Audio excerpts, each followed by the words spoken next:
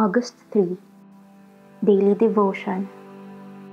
1 Chronicles 15 verses 1 to 29 2 Samuel chapter 6 verses 12 to 23 2 Samuel chapter 6 verses 14 to 15 And David danced before the Lord with all his might and David was wearing a linen ephod. So David and all the house of Israel brought up the ark of the Lord with shouting and with the sound of the horn. Let's do the dance of joy. Back in the 1990s, there was the popular sitcom entitled Perfect Strangers. Each episode ended on a happy note, with the two main characters rejoicing and doing what they called the dance of joy.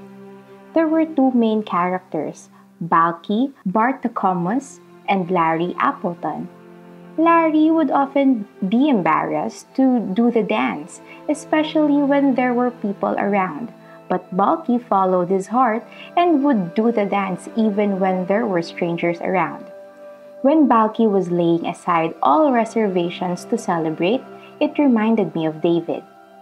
After David had been proclaimed king over all Israel, he built houses for himself and prepared the place for the Ark of Covenant. The passage shows us the second attempt of David to transport the ark. In 1 Chronicles chapter 14, we read about David's traumatic experience as he tried to bring the ark to himself. Today, David meticulously pays attention to God's regulations on how to handle the ark and successfully brings it to Jerusalem. With much joy, we see David dancing with all his might in front of the people. The scene of the celebration teaches us a few lessons. First, we see David's humility in welcoming the ark as he laid aside his royal robes.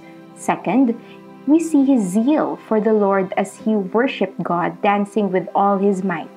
Third, we see how he prioritized God as he laid aside all reservations to worship even if he looked foolish. Michal expressed disgust, saying, How the king of Israel honored himself today, uncovering himself today before the eyes of his servants, female servants, as one of the vulgar fellows shamelessly uncovers himself.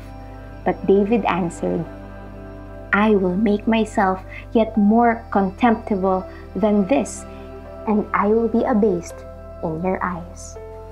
David shows me my guilt of self consciousness during praise and worships each Sunday.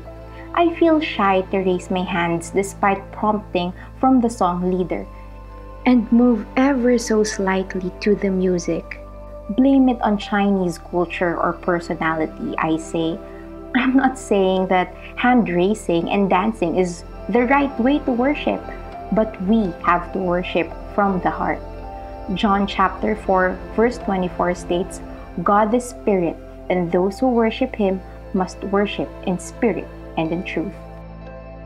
Reflection Up to what extent are we willing to make ourselves contemptible in the eyes of men during our active worship? Who are we aiming to please when we sing songs of praise during Sunday service? The audience, the song leaders, or God? How are we worshiping the Lord from the heart? Prayer Lord, you are worthy of all praise.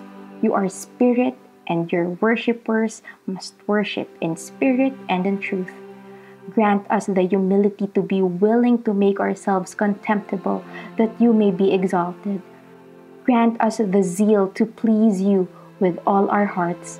May our worship be acceptable in your sight. In Jesus' name we pray. Amen.